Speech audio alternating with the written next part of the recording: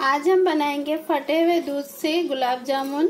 गर्मियों में कभी भी दूध फट जाता, आप लोग इसे फेंकिए मत। आप लोग इससे गुलाब जामुन बनाइए, बहुत ही टेस्टी बनते।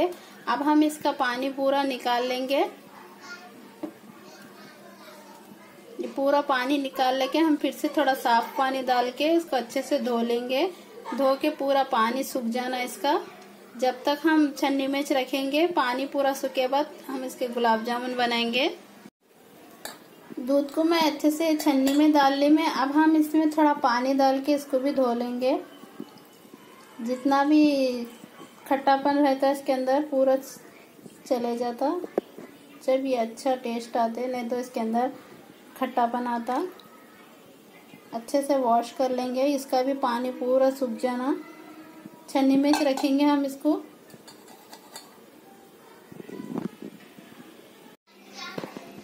अच्छे से इसका पानी पूरा सूख गया। अब हम इसको अच्छे से सॉफ्ट कर लिए इसको मैं ऐसा ऐसा करके। अब हम इसमें थोड़ा मैदा ऐड करेंगे बाइंडिंग के लिए।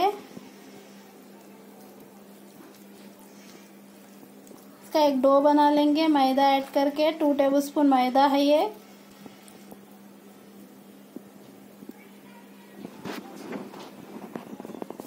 अब हम इसके गुलाब जामुन बना लेंगे सॉफ्ट।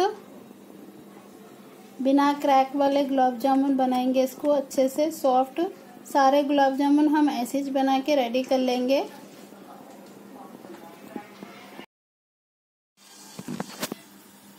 मैं एक गुलाब जामुन फ्राई करने के लिए डाली में, अब बाकी के भी हम ऐसे फ्राई करके डाल लेंगे फ्राई करेंगे।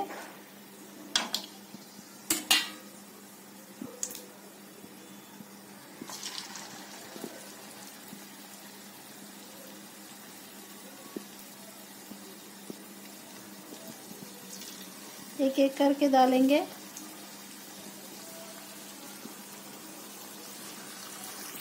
गोल्डन ब्राउन हुए तक हम इसे फ्राई कर लेंगे। डालते ही नहीं पलटाएँगे थोड़ी देर के बाद इसे हम टर्न करेंगे। गुलाब जामुन फ्राई हुए तक हम इसकी चाशनी बना लेंगे। चाशनी के लिए मैं एक कप चीनी, शक्कर और एक डेढ़ कप पानी ऐड कर लूँगी।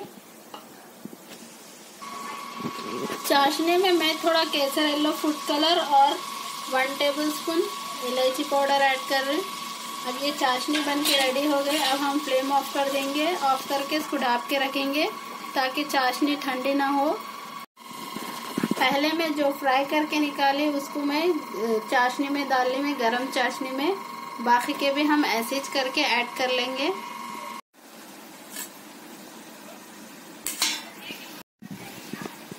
अब ये अच्छे से गोल्डन ब्राउन फ्राई हो गए अब हम इसे निकाल लेंगे। गरम गरम चाशनी में डाल लेंगे इसको।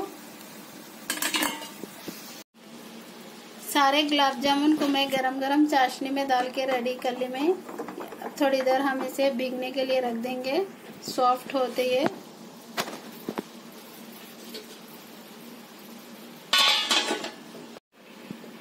अब ये गुलाब जामुन बन के रेडी हो गए। अब हम इसे डिश आउट करेंगे। ये फटे हुए दूध के गुलाब जामुन बन के रेडी हो गए। कोई भी इसे पहचान नहीं पाएँगे कि आप फटे हुए फटे हुए दूध से बनाए इसे। आप लोग भी एक बार इसे ट्राई कीजिए। बहुत ही सॉफ्ट बने हैं ये।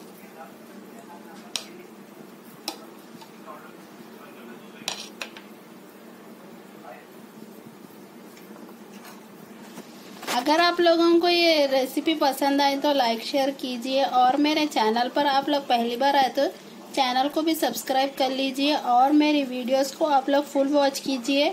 शुक्रिया थैंक्स फॉर वॉचिंग अल्लाह हाफिज़।